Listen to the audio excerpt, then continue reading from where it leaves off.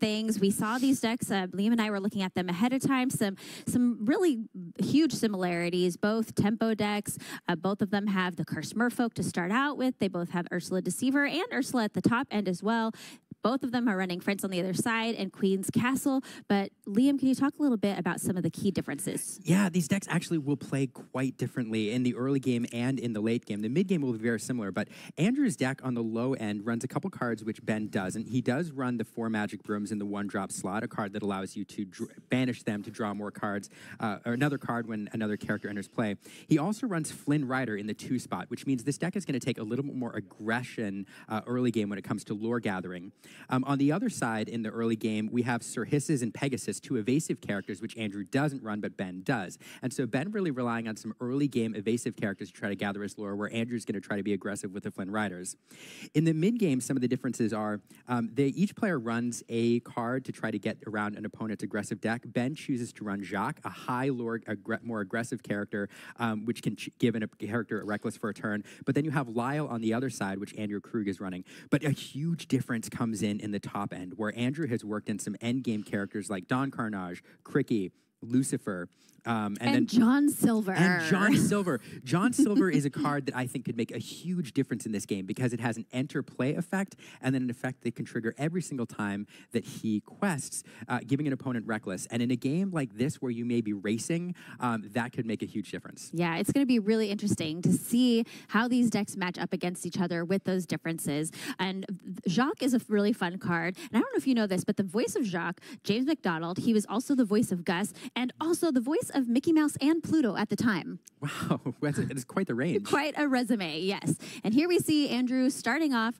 with that cursed merfolk. Right, and so uh, one of the things that you were talking about before the match, Becky, is how much the play draw difference is going to make a, a, have a huge difference here in this matchup. Mm -hmm. And Andrew, being the higher seed, gets to play first. And mm -hmm. so mm-hmm. in a three game matchup, if it goes to three games, Andrew's going to have two chances uh, to be the player that goes first both these players are going to want to drive the tempo. They want to get to early leads, forcing their opponent to respond to their side of the board rather than pursuing lore themselves. And so, uh, dropping a cursed merfolk on the board in the early game is something that both players would be happy with.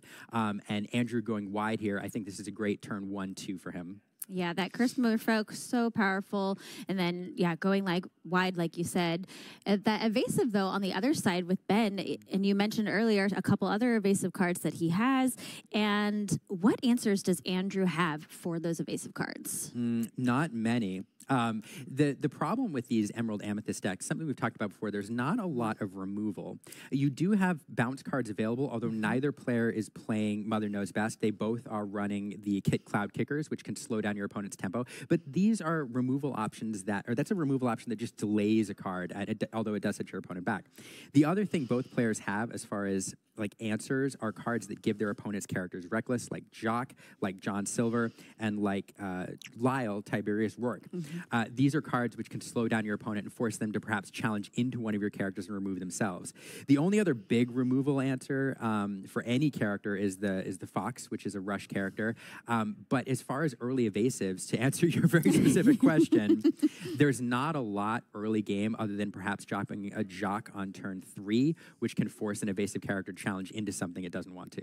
Yeah, which Andrew is running Lyle, but Ben is running Jaq. So it, yeah, there's so many cards that give reckless. And reckless, for players who may not know, it's a keyword that uh, a character must challenge when able and that they cannot quest.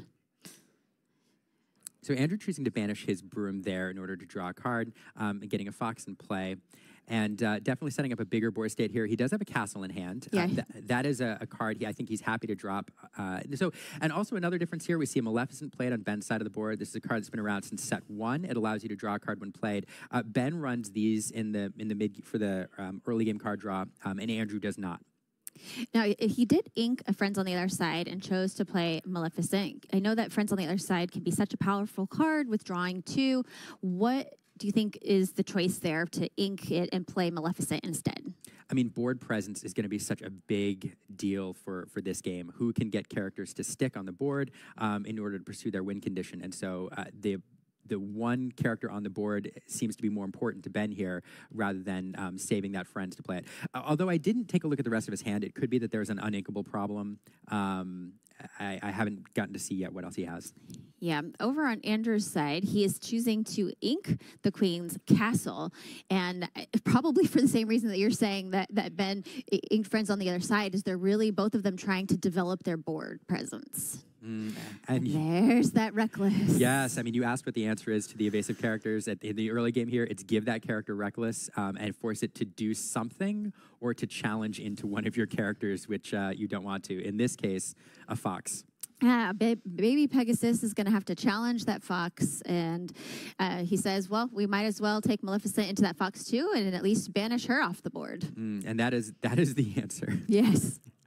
I think what will be interesting about this game is, like we talked about in a, in a previous round, is knowing when you are going to be the aggressor and when are- you're the one that's going to have to.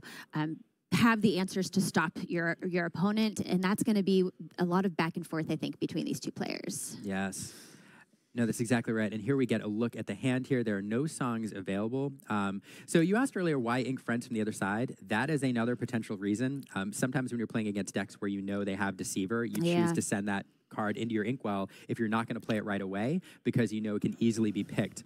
Sure, And you would rather it be ink than be in your discard pile. Absolutely, and oftentimes this uh, this Maleficent into Friends from the Other Side combo is a tale as old as time in Lorcana. yes. It came in the very first starter decks, and so once you get a three cost character on the board and Friends from the Other Side is available to be sung, that's the perfect time to play an Ursula Deceiver to pick that from your opponent's hand, and that is likely why, or probably a good reason why that Friends went into the inkwell rather than being played. Yes. And that is the only song that both players actually have in their deck. They both are running four copies of Friends on the Other Side, no other songs. So that's really the only thing that Ursula would be able to pick out of their hand. Yeah. So what another card I want to talk about here is is Merlin Rabbit. Um, both of these decks have low to the ground openings uh, where they have a lot of one, two, and three cost characters, and so in this particular build, you have the possibility of running through your hand very quickly and being in top deck mode very early. And so, getting a rabbit online in the middle of the game, particularly a rabbit if you can bounce it a time or two, like I think we may see here, um, really charges your hand going into the late game. And Yep, there it is. And there it is. And so, as you watch both this game and the next game play out, and then a game three, if we get one, um, you're going to see that whichever player managed to make maximum use of the rabbit in the mid game is likely the one that has an edge going into the end game. And Andrew does not have his rabbit online. He has just a crab and curse merfolk in hand, uh, only down to two cards. I think both players have pretty low hands and needing to find a, a way to get some more cards in his hands. And he drew into a Flynn Rider, which is a great card for questing, um, but not going to give him the card draw that he needs at this point in the game. Yeah, another card. Let's talk real quick. Um, we do have an advantage with the rabbit on Ben's side, but that Lyle Tiberius Rourke um, is such a devastating card for Ben in this matchup because what we're likely to see as these games go on, it, it's going to be a lore race at some point um, in one of these games. And it does look like Andrew, though, may, may end up pushing this really quickly towards 20. But um, in a lore race, Rourke sitting there on the board, not exerting, just sitting there all game and forcing your opponent to lose a lore every single time one of their characters is, is banished in a challenge. We're going to see a lot of that. Um, it's really going to suppress Ben's uh, ability to accumulate lore. It's it's a devastating card to have sitting across from the board from you in this matchup. Sure. So if anyone doesn't know, Lyle Tiberius Rourke, um, who's from Atlantis, the, one of the villains in Atlantis, whenever one of your own characters is banished, then your opponent, each opponent, loses one lore. So that means that Lyle could kind of hang out there without questing or challenging, and any other characters that he might lose would, um, oh, or you could force them to exert. wow, Ursula came down and said, um, It's time Ursula took matters into her own tentacles, forced Tiberius Rourke to exert, and then Ben was able to use Madame Mim Fox to banish Rourke. Yeah, what a great, great answer here. We talked about the fact that there's not much removal uh, in these decks, and uh, this is one of the answers you don't see terribly often because Ursula is a very expensive card. It doesn't come into play in the late game unless you have Deceiver to shift onto. Um, what a great answer here, and this really, really swung the board state. Yeah, uh, Andrew's still having both those Flynns out. He has a lot of lore on the board right now. Let's see, Ur- Ursula does quest for three, though. and she has seven willpower, a very large body for Andrew to deal with. He does have a crab in hand still, I believe, so that is something that he could look at using to increase the strength of one of his characters to run into Ursula perhaps later. Yeah, I mean, that really is the best answer for Ursula. As we talked about, just not a lot of uh, targeted removal. Um, and so, in, in this particular build, in this particular deck, in these color combos, so the crab is is kind of the biggest answer to a high willpower character like that. But here we see it played to the board. Uh, it, it's going to be, it, it, does provide some utility if you can bounce it or when it's banished in a challenge. So um, sometimes players think the best way to use the crab is to wait and to play it to board and give extra strength when it comes into play. But here you have a scenario where if Ursula exerts uh, to quest and get that three lore, the crab can challenge Ursula, and when it is banished, it's removed from play, then making one of the other characters stronger, able to finish off Ursula. Um, in a challenge. But Ursula is oh, character quest. Ursula is going to exert the crab here, and we're going to see it removed by Sir Hiss. Oof. Ben, knowing that that is that is the answer. Yeah, it's it's whenever this character quests, then you can exert chosen character and. My goodness. Yeah. Uh, it seems like every plan that Andrew has here, uh, Ben is able to come in and thwart those plans. But Ben is still in the drive. I was going to say Ben is still in the driver's seat at this point with six lore on the board, pushing him up to 17. Uh, but here's another removal option. This is one of the differences between these two decks. Peter Pan Shadow Hunt Finder. Um, this is a rush and evasive character, but the rush is going to come into play here, uh, forcing uh, not only uh, banishing Flynn Rider, but forcing Ben to discard a card upon the challenge. Yep. So he did choose to banish a Flynn Rider, which, of course, the ability on Flynn is that when he is challenged, you must discard a card. And so he did discard one of his Merlin crabs into the discard pile. That is a, another interesting difference between these two decks. I believe that is it Andrew only has two and Ben has four crabs that he's running? Uh, that is correct. That is correct. Yes. Yeah, Ben has has four crabs gosh, what a great match so far. You know, when we started this match, we highlighted that one of the big differences between these decks is there's several differences in terms of the early game aggression. Andrew is, is the more aggressive deck with the Flynn Riders.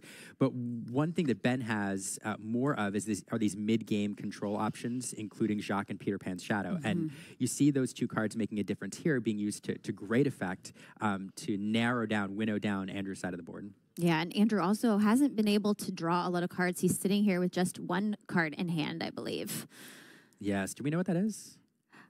Uh, not. I don't think we do. Jaq. Yeah, Jaq is a really fun card. He also quests for two.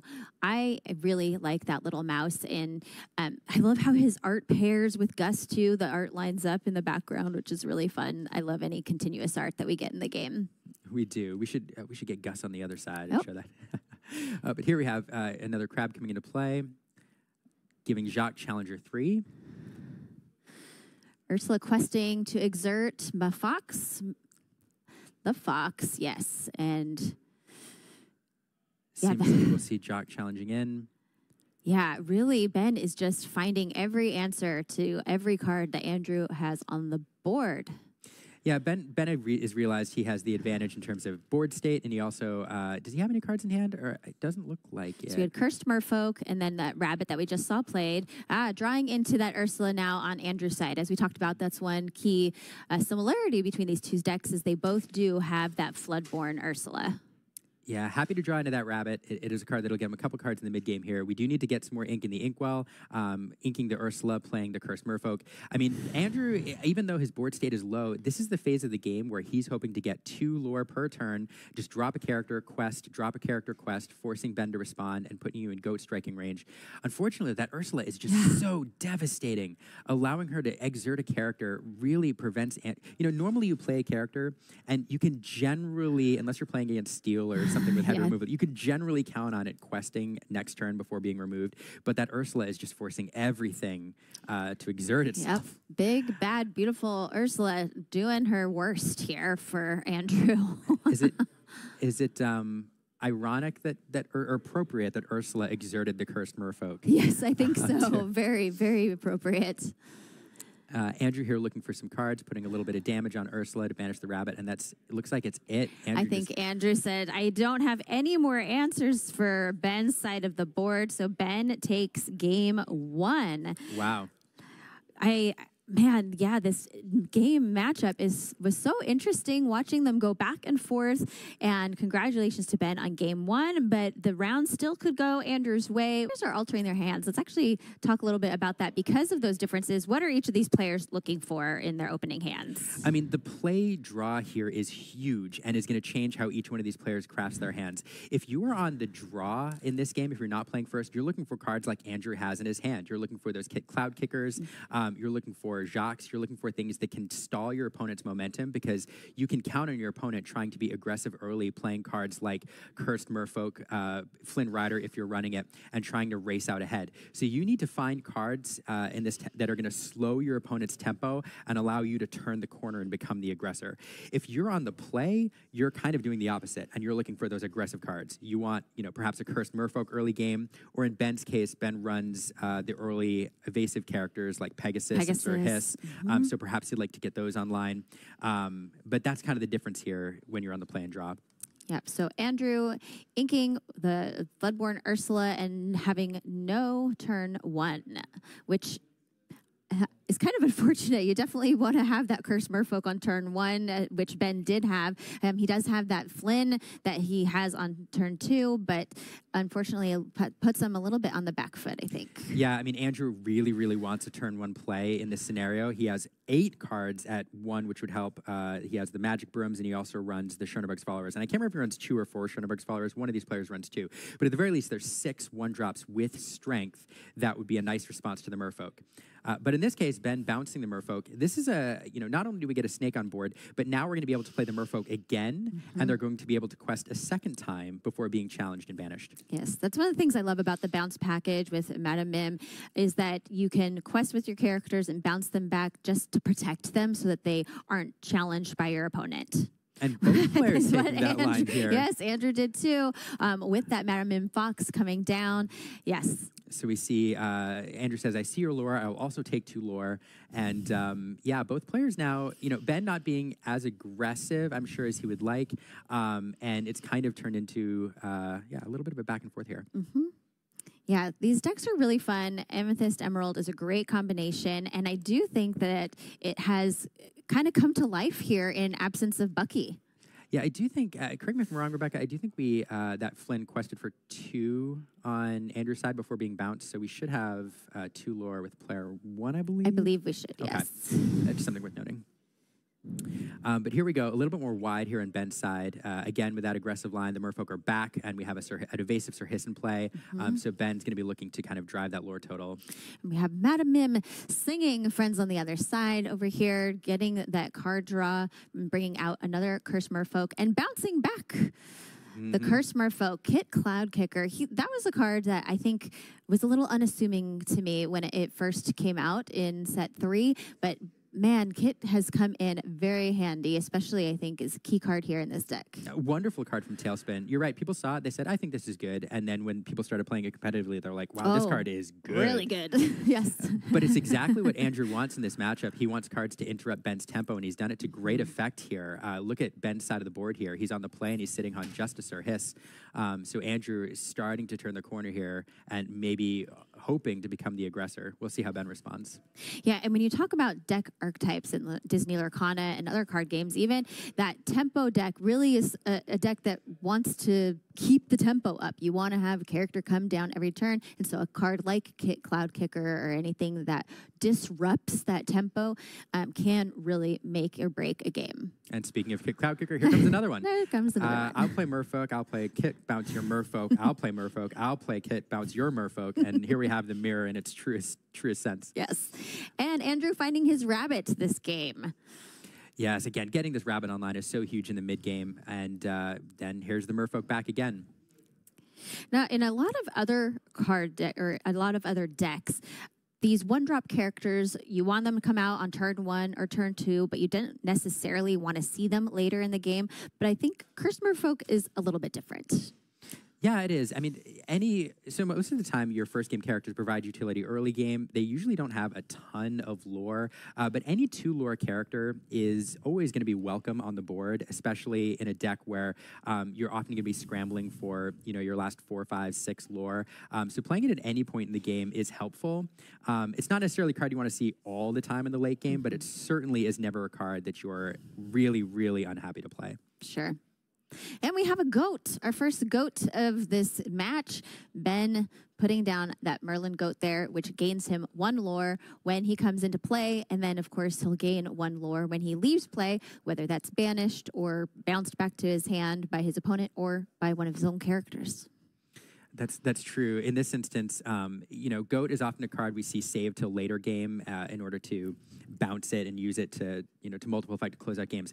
In this instance, I don't think Ben had many other options, but it also serves as a four strength character. Andrew has some interesting characters like Rourke again, which can come down and sit there for a while and do a lot of damage. The goat is four strength, um, and it's a card that could be used a little bit offensively if Ben needs to here. But I also want to highlight Andrew's hand. Andrew is sitting on, sitting on an Ursula Deceiver and then the um, the Ursula Floodborn. Um, and so one of the things he'll be thinking about here is, can I, you know, at what point do I play the Deceiver and set up that Ursula shift? Yes, because Ursula shifts for for five or six. Uh, I think it's five. Gosh, yeah, the shift ability is just really fantastic. Yeah, she's a seven cost character normally, shifts for five.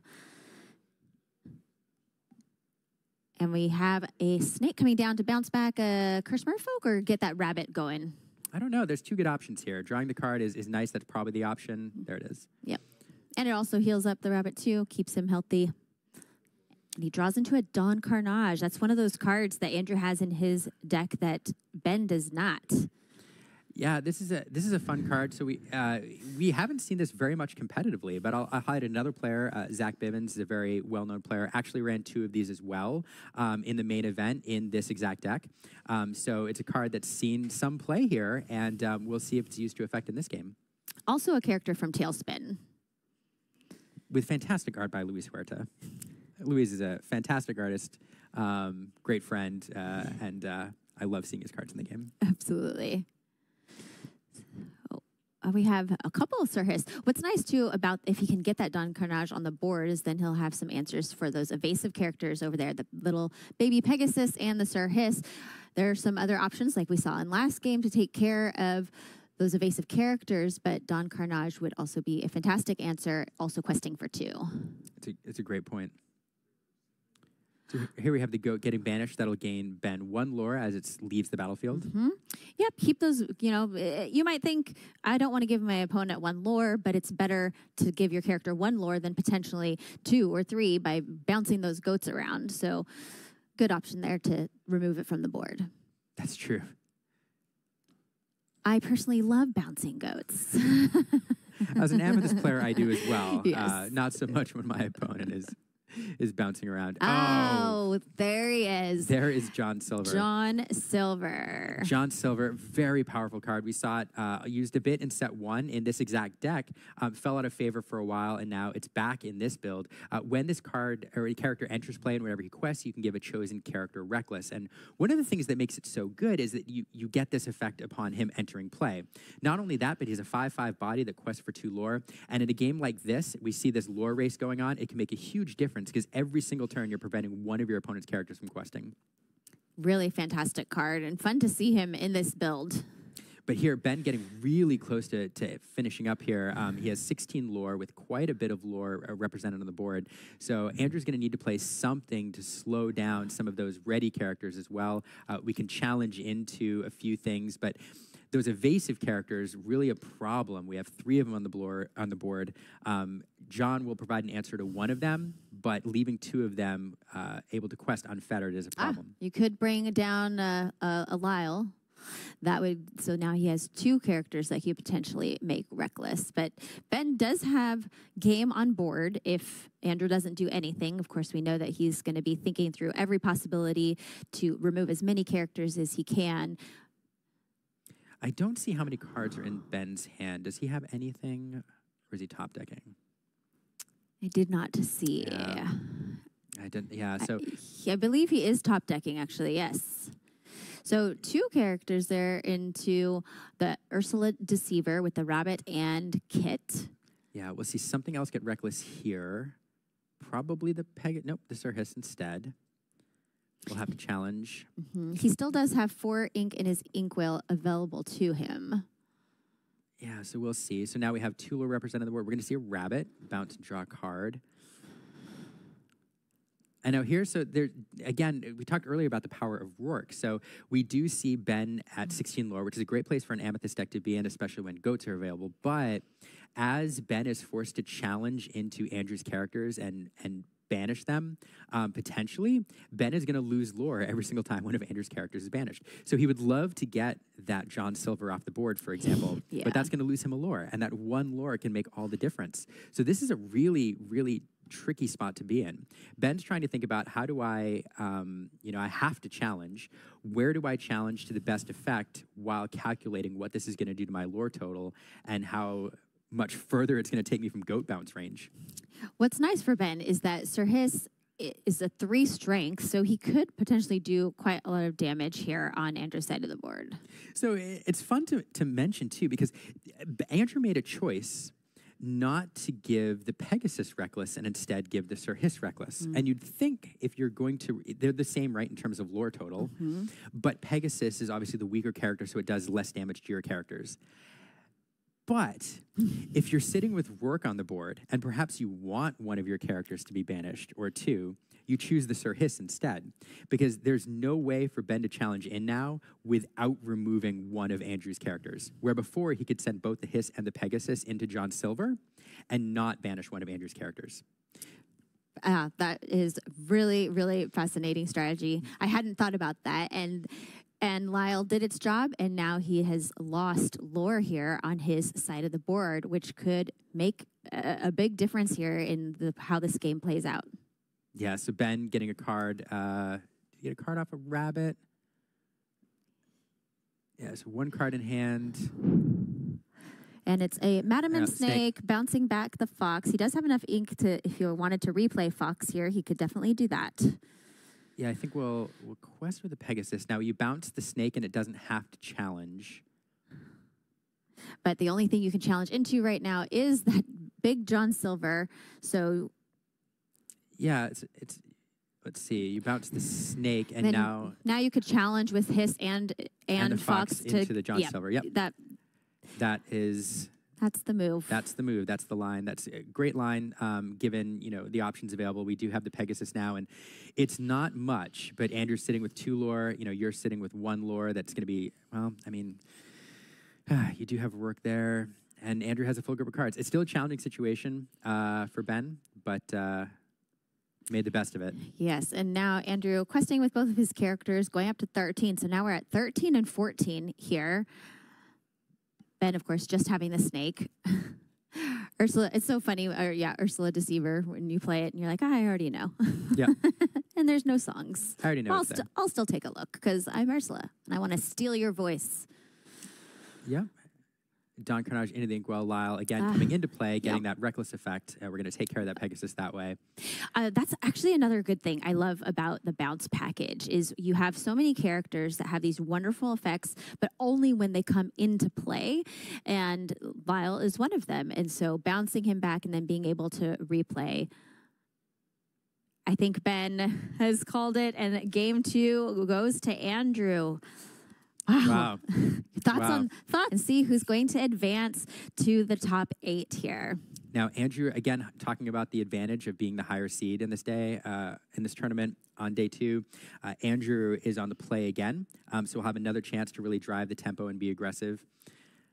see, we have a rabbit, we have a broom, we've got Lyle. I'm not sure if these are the cards he's keeping or that he's going to put back. Let's see. yeah, I think him missing uh, Curse Merfolk, we talked about that, that he missed his turn one Curse Merfolk, but I don't, it didn't end up making a difference there. No, I mean, the, well, the big thing Andrew wanted that game was was something to answer Ben's curse Merfolk, um, usually, and so not having that one drop we thought would make a difference, but able to recover pretty well from that. Um, I'm not surprised at the cards he kept. Uh, if I saw right, we did keep a Rourke, uh, which will come down on turn three, make a huge difference. When uh, make a huge difference. We kept a couple Brooms, able to to get down there in turn one, draw some cards, and then we did keep a. We did not keep the Rabbit. Okay. No. He did draw into that friends on the other side, but like you said, sometimes you don't even want to have friends on the other side on the early game because of that Ursula Deceiver that may come down and snatch it out of your hand. That's true. We'll see how that plays out here. Um, kind of the reverse role here. Andrew, you know, normally you'd see Andrew want to play the merfolk and then Ben with an answer to take care of the merfolk. Here, the opposite. Ben is taking the aggressive line, um, forcing Andrew to respond. And I will say, too, um, the cursed merfolk feels really, feels good against the play sometimes because Andrew's already down a card, um, and this deck can burn through its hand pretty quickly. And so, getting a Merfolk on the board that your opponent has to discard to remove sometimes feels good. Instead, we see the Snake come into play, uh, protecting the Merfolk and getting a bigger body on the board. Yep. Uh, he's thinking, yeah, Andrew's thinking, what do I want to play here? He's putting the uh, Magic Broom, I think, into the Inkwell.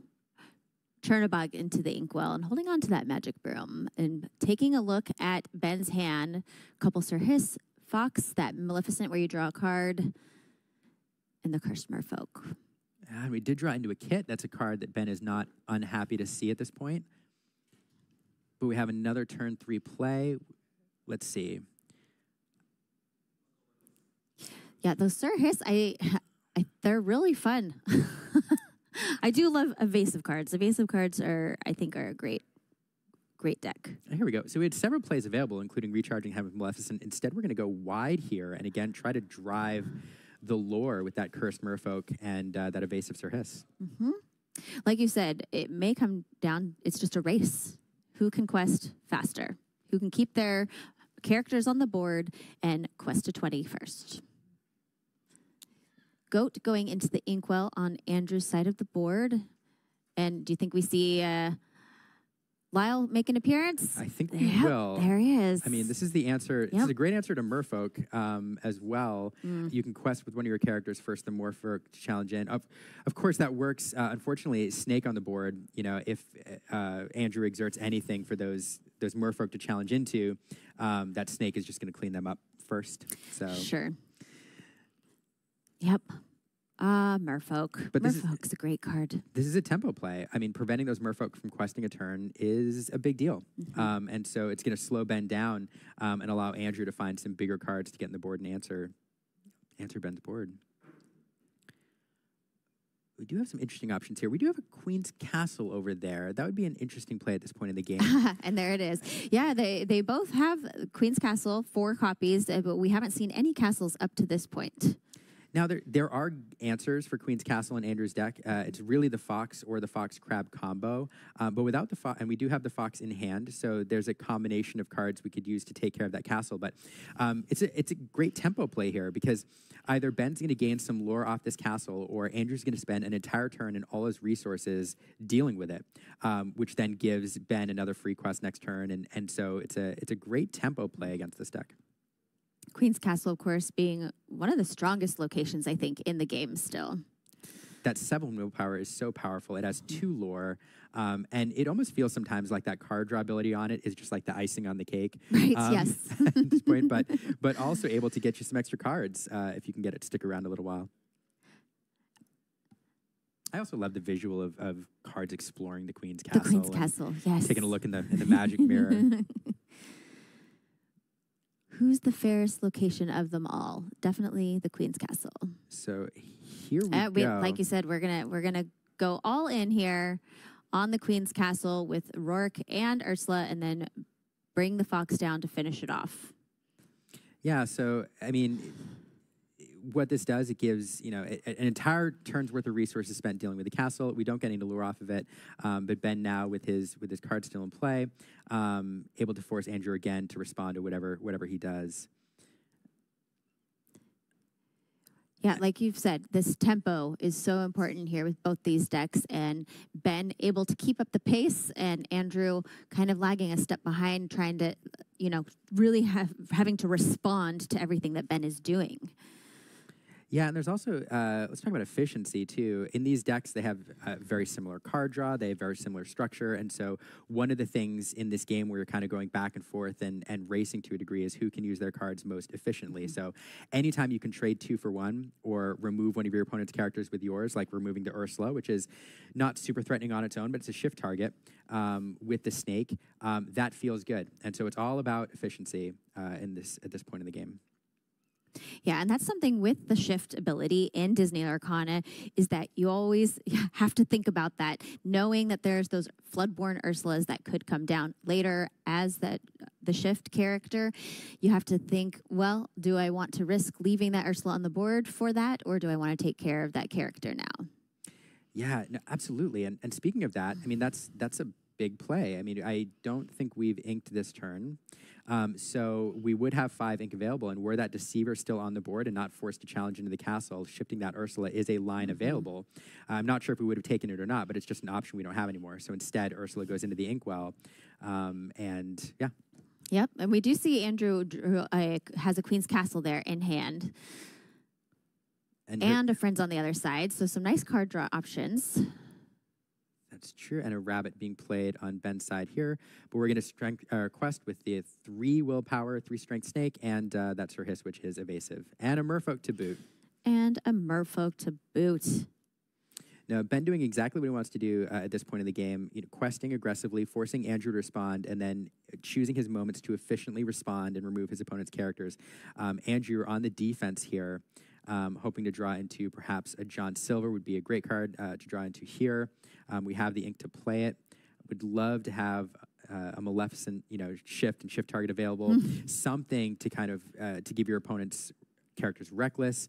Um, here we have a Lyle. That's exactly what we want to do in this scenario. Uh, probably pick the Merfolk. Yep, keep you from questing, and then choosing to banish that magic broom for drawing another card. We drew into a crab, which is not a terrible card to have in hand. And there comes the fox bouncing the rabbit, draw an extra card. And the fox will remove the snake. It's, that snake has done a lot of shenanigans so far this game. so many shenanigans.